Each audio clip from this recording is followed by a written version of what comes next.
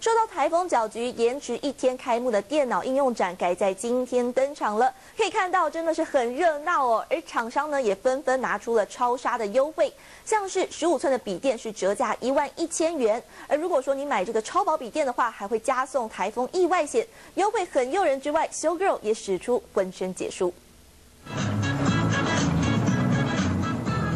穿着水手服，左摇右摆，对着台下屏放电。台北电脑应用展碰上了台风搅局，延期一天，展期大缩水。各家厂商重振旗鼓，端出修 girl，不只要吸金，更要吸买气。商品每两千可以抽新加坡来回机票，是哪一个品牌？买三 C 就送机票，还请出电影当红的公仔来助阵，现场人声鼎沸，一扫台风的阴霾。而笔电最杀下杀一点一万，而高阶的超薄笔电新品也进出，有一百。八十度延展型的机种，还有铝合金制成的超薄笔电，通通选择在电脑应用展开卖。而这次台风搅局也是开展二十二年以来首度会延长营业时间到八点的创举。到八月六号，我们把原来每天到下午六点的这个这个展览时间啊，延长到晚上八点，多了两个小时。电脑工会预估买气到假日会达到最高潮，将会创造六十亿的商机。